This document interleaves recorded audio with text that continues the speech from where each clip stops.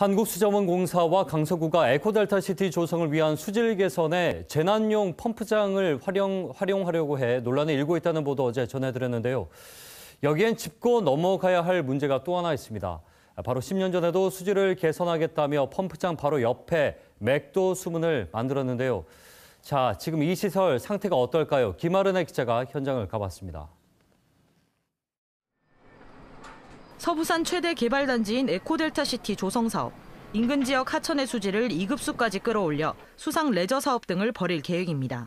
수질 개선을 위해 10년 전 설치한 맥도강 수문도 물이 제대로 흐르지 않는 등 시설 문제가 꾸준히 제기됐습니다. 지금은 어떨까 현장을 가봤습니다.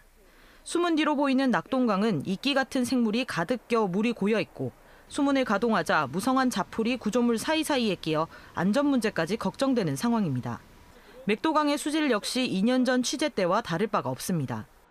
에코델타 시티 일대 맥도강의 수질은 생화학적 산소 요구량인 BOD가 4급수로 물고기가 살기 어려운 수준입니다. 보도 이후 이곳 맥도 수문은 4개월 동안 다시 운영에 들어갔는데요. 하지만 하굿둑 개방으로 바닷물이 치고 올라오면서 수문을 다시 닫을 수밖에 없었습니다. 생태계 복원 사업 등을 위해 낙동강 하굿둑 개방 일수가 늘어나자 바닷물이 최대 상류 15km까지 올라왔고 이 과정에서 낙동강 물을 농업 용수로 쓰는 농민들이 피해를 보자 바닷물을 걸러내기 위해 수문을 닫을 수밖에 없게 된 겁니다. 결국 44억 원을 들인 수문이 무용지물이 된 상황. 수문으로 쓸 수 없다면 펌프장으로 개조해 수질 개선에라도 쓰자는 말까지 나오고 있습니다. 연무 피해가 있어서 수무 개방이 안 된다면 펌프장으로 개선해서 수질 개선용 펌프장으로 사용을 전환해야 된다고 봅니다.